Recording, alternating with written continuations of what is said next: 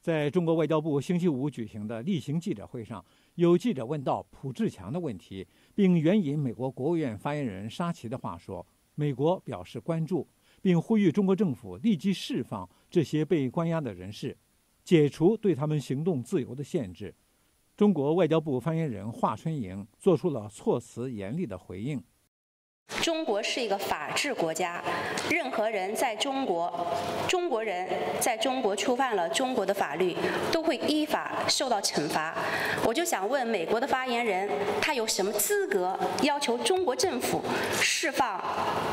触犯了、违反了中国法律法规的中国人？我们希望美方呢能够停止这种无理的干涉中国内政和司法主权的言行。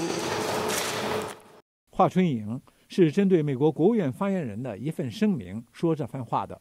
美国国务院女发言人沙奇星期三发表声明说，有报道说中国人权律师朴志强和其他活动人士被拘留，在此之前，他们曾经参加和平纪念即将来临的六四周年研讨会。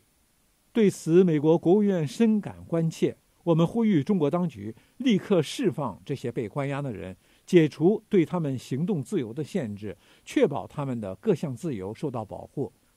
曾给江青做辩护的中国著名大律师张思之已经同意做朴志强的辩护律师。国际舆论和司法界都在关注中国司法部门如何审理这个因为参加一个朋友的私人聚会而被刑拘的案子，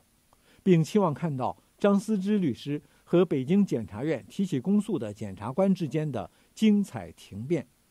美国之音 VOA 卫视记者东方，北京。